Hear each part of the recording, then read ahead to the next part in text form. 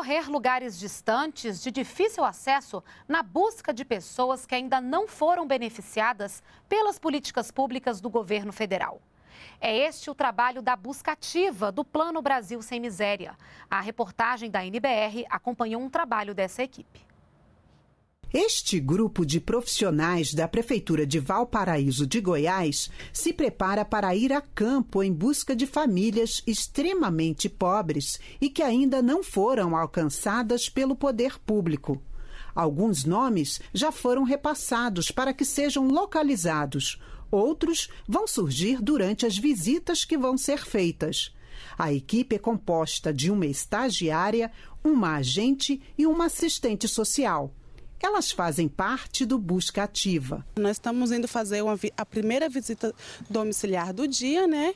Que é praxes né, da inclusão da família no programa do Bolsa Família. Aos poucos, a paisagem já é de periferia. A equipe chega ao primeiro endereço, mas os dados da ficha não conferem. E a busca prossegue. No caminho, o pedido de informação. A segunda tentativa também não dá certo.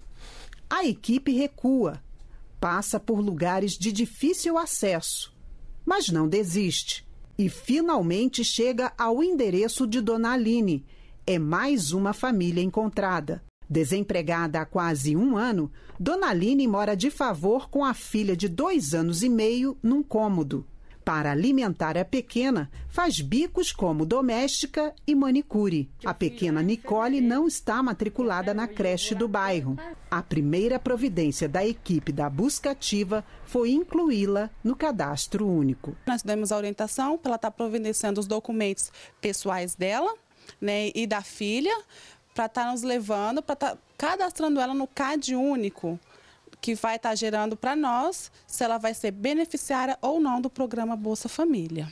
Agora eu estou muito feliz por eu ter conseguido e a esperança é que dê tudo certo. Para mim, para minha filha, para a gente conseguir o Bolsa Família. No ano passado, o Busca Ativa do Plano Brasil Sem Miséria localizou e incluiu mais de 380 mil famílias no cadastro único para programas sociais do governo federal. São 1.200 equipes que vão à procura dessas pessoas. Equipes como essa aqui estão presentes em mais de mil municípios em todo o país.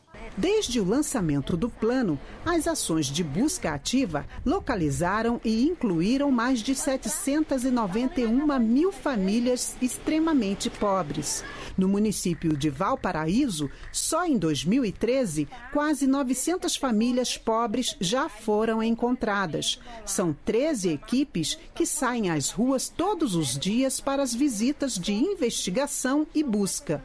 Com o trabalho, agora são 13.300 famílias extremamente pobres com cadastro único recebendo os benefícios dos programas sociais. Esse trabalho da busca ativa ele é fundamental e a gente tem feito isso muito em sintonia com a educação né, e com a saúde. A gente identificou que o nosso número em relação à nossa população e, e a questão da vulnerabilidade no nosso município era um número muito pequeno. Então, nós determinamos né, que fosse realizado esse trabalho da busca ativa para que a gente pudesse identificar outras famílias que precisam de estar no programa.